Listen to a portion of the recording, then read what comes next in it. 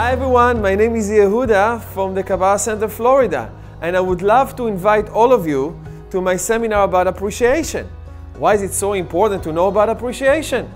Appreciation is actually the tool, according to the Kabbalist, by which we can receive more blessings in our life and to keep our blessings and to even grow our blessings. And we will discuss in the seminar how, by awakening appreciation, we can reach a higher level of consciousness, inner peace, and happiness. Please join me.